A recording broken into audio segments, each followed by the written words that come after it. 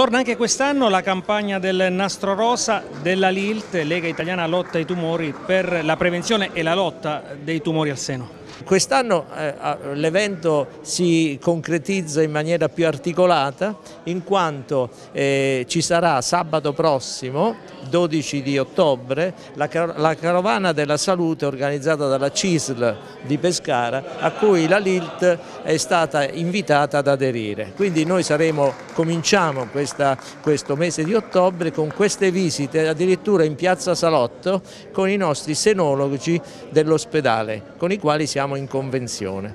E la campagna proseguirà sicuramente nel mese di ottobre ma anche nei mesi successivi perché non riusciremo a, a, a fare tutte le visite che ci chiederanno e ci saranno saranno esposte dei numeri a cui telefonare con delle giornate prefissate per poter prendere questi appuntamenti. Inoltre il sabato 12 c'è nel desk della LILT a Piazza Salotto, si accettano anche le prenotazioni per queste visite senologiche. Chiaramente l'obiettivo nostro non è solamente quello di fare visite e quindi prevenzione secondaria sul territorio, ma è anche quella di suscitare nella popolazione interesse per la conoscenza della prevenzione in generale e anche per la prevenzione senologica.